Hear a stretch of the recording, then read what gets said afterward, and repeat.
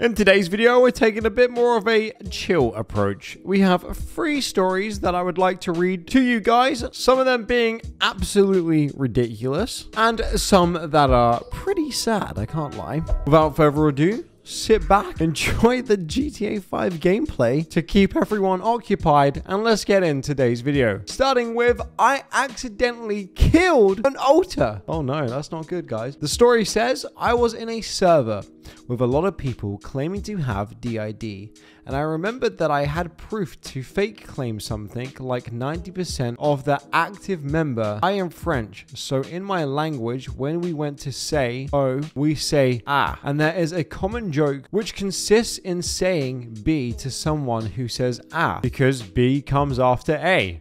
I'm following along so far. I did this joke to an alter who has said ah, and he began to say my joke was outrageous and that he will kill himself, etc. Obviously, this person was faking, and an hour later, after an alter of the same system came and said that the alter that I did the joke to was dead.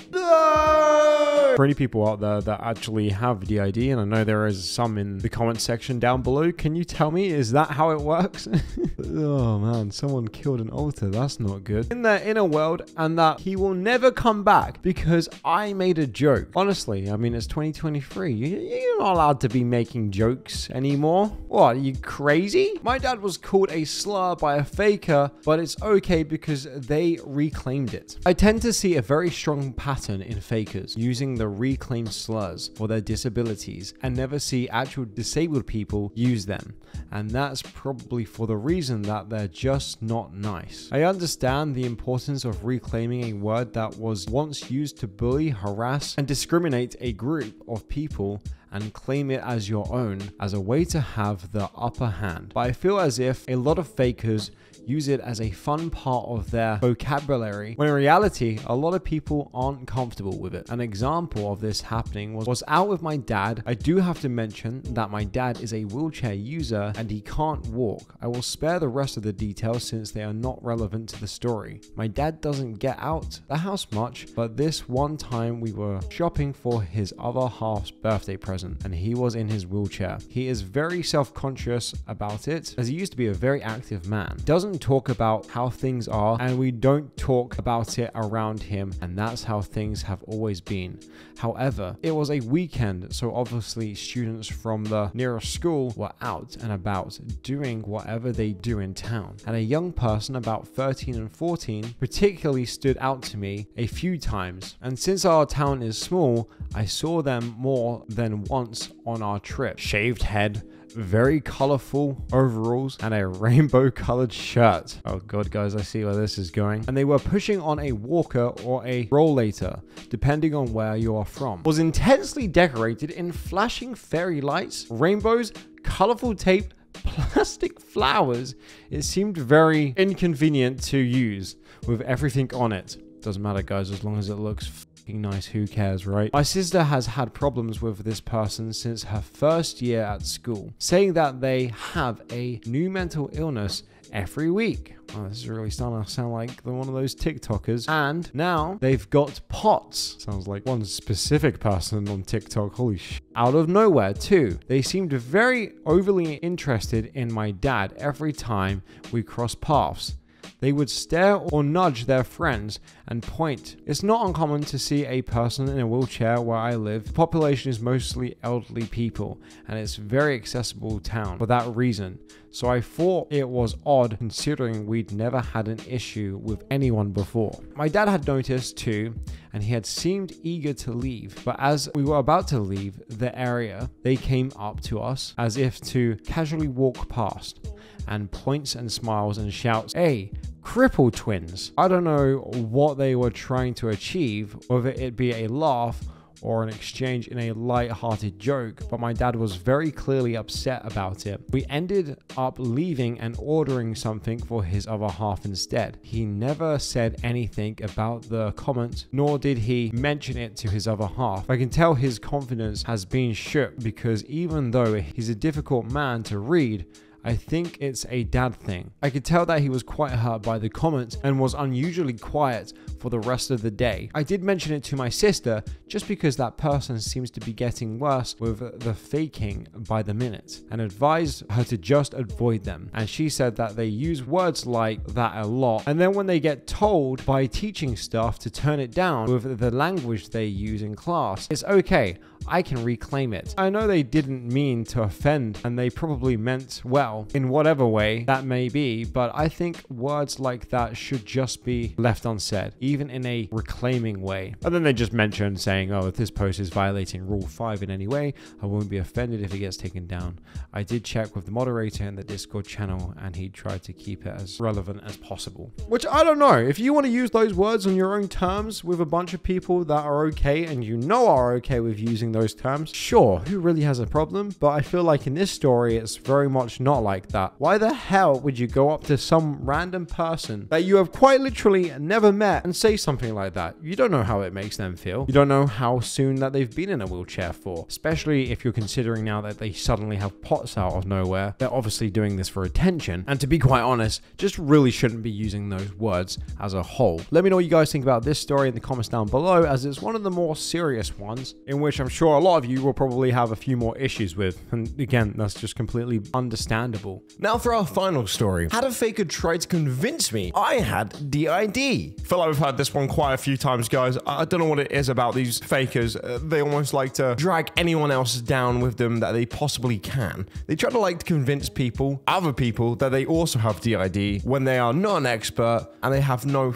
idea and they don't even know if whether or not they have DID and probably the information that they've probably got is from TikTok so they're absolutely clueless. But this story reads and says like any normal person my personality seems different based on the kind of people I'm around. I had a friend of mine who is also a DID faker just not on TikTok. Insists that I had dissociate identity disorder. Because of this she has also gone around telling everybody that I have multiple personalities when I don't because at work I'm usually overly polite and of a kiss ass. Might seem a little stressed out or twitchy, always eager to help out in whatever way I can. That's also one of the most important things I would like to just add on to. It seems like a lot of these people really mistake having different emotions with different personalities. It is perfectly normal to have maybe one amazing week in which you feel great, happy, and then having another week in which you feel stressed, tired, lethargic. Like, that's normal. That is literally just life. That doesn't then mean you have two different personalities. You're allowed to have different emotions. In college classes, I'm very focused, a workaholic, and I don't really talk much. I usually look tired. I've been told I come off as shy. Around close friends I trust, of which I don't have many, I'm warm and energetic. I don't go from being the shy guy to being goofy hooligan who always dares to be stupid. I'm completely off the wall and make everything into a joke and have fun. I'd say this is who I am when I'm the most relaxed and confident. I'm not completely tired out by everything around friends I see on a regular basis, but don't really consider part of my inner circle. I'm chatty and somewhat friendly, but definitely not as open and might seem nervous or on guard.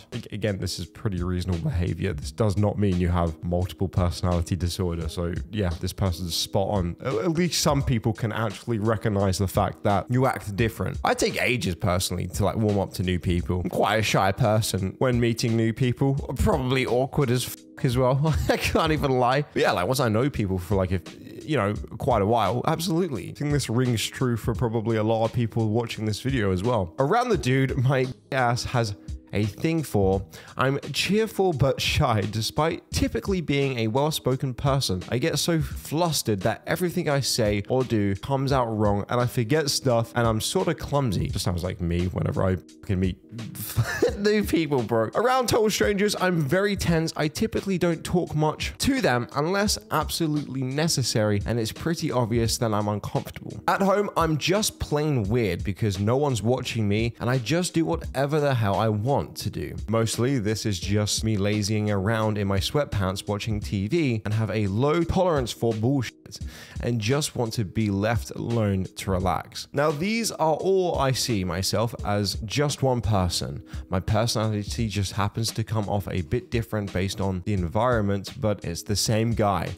However, said gal I mentioned in the first paragraph is a DID faker herself, and after seeing how different I act around people, I know and I'm comfortable with various people. I don't know and I'm un- uncomfortable with, he's convinced I have dissociated identity disorder. She has even gone around naming the so called different personalities. Oh, God, Jesus. You know, it's bad when they start naming them. They're not even hers. All these people are fake. I, they definitely have something else. It's not multiple personality disorder, but they definitely got something, man. Who does that? That is weird. She calls my work face Vincent. She says that Vincent is a gender. Non-forming lesbian who uses his pronouns, wears man's clothes, and uses a man's name because she's just super butch. She says Vincent is the core, and I think this is because at work, I'm everyone's I do whatever they say because as a customer service representative, that's kind of my job to be a kiss ass. Yeah. Vincent is the only one she actually likes. Yeah, I wonder why, hey? Fucking narcissistic. I only like the one that I can push around. I don't like it when you talk back to me. Yeah, geez, that's not a good sign. She calls a close friend me Draven. Draven is a trans man and age assigned at 18. Completely gay, probably a whore. Because all extroverts are who can't keep in their pants and very immature. She hates him. Draven as a sexual alter. She calls the person I am going around strangers Sarah. Says Sarah is a age resigned about six and just a little gal, she says. Sarah is a little and also fragmented. Oh my god. This is. If you have a friend, like actually straight up, th- th- this is so alien to me and so weird. I'm just saying, if you have a friend that is literally going into this much detail, there is something very wrong with them. Says around the guy I like, I'm Lydia, a sexually unappealing hetero woman pushing 50 who doesn't realize she's over the hill. It isn't very smart. She has chastised me for flirting with the guy because even though biologically I'm only two years older than him, we are both over 21. She says, Ew, Lydia's an old lady so creepy. Says Lydia's supposed to be a caretaker who doesn't do her job right. Ewy. Now, guys, hear me out. If your best friend is now identifying you as someone way older you haven't asked to, and now they're quite literally being like, Ewy, you can't be interested in that person. You're way too old when you're generally only in your 20s.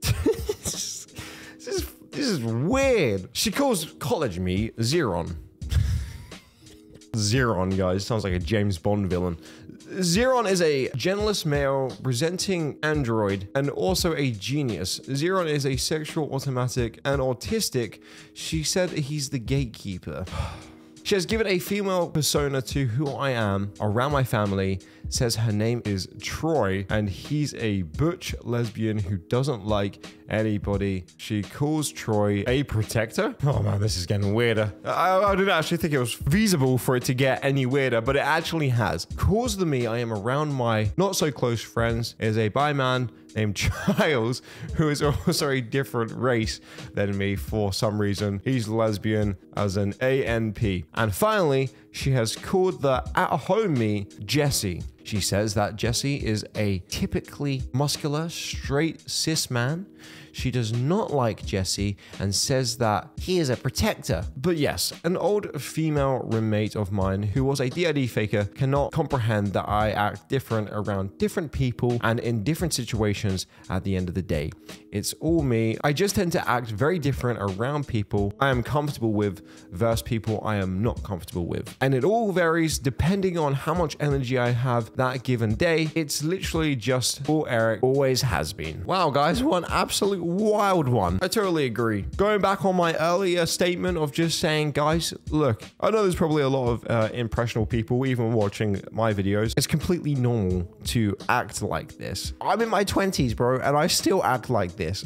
You could be in your 50s and act different, bro. Like, it's just life. People really act different from the day before and then really want to give it a whole different name and personality. People that do that are just being way too extra and obviously just have way too much free time. It's not that deep. And like I said, said, perfectly normal to have days in which you act different. Some days I can be very confident and outgoing. Other days I'm more shy. And certain things can really play an effect in that for me. For example, if it's like a horrible rainy day, I feel like I don't feel as happy. But when the sun is shining and I've gone to the gym and I've got all my work done, bruh, I feel absolutely amazing. There's a lot of things to factor in play. But at the end of the day, guys, it is perfectly normal. I'm sure most people know that. But for those of you that are definitely wondering about this and are unsure, don't worry, it is normal. But anyway, boys and girls, hope you enjoy this story time. I know you guys enjoy the more chill types of videos. If you did, make sure to please hit the like button. And I'll see you all in tomorrow's video. Hope you guys are all doing well. I'll see you later. Bye bye.